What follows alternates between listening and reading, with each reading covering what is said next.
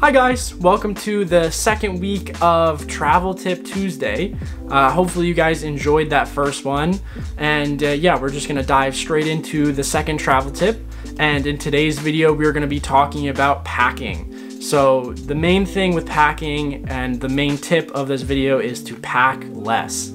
Yes, I know you're going on a trip, you always think, oh, I'm gonna need this, I'm gonna need this, and you pack a bunch of random stuff that you end up not wearing, not using, not needing, that sort of thing. So the tip is to pack less because you'll be traveling much easier and much lighter and it will be a great service to your back.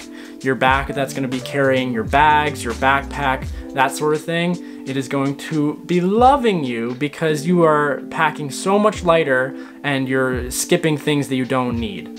So if you're thinking in your head, oh, I need the second jacket, or I need the extra pair of socks, or I need another t-shirt, you can always do laundry, you can always buy something, you can always find a way around the thing that you want to bring.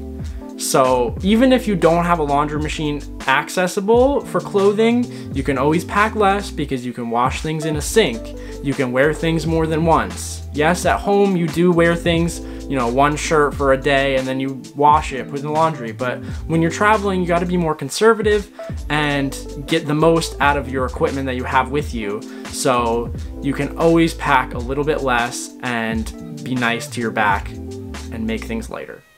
So that was uh, the travel tip for this week.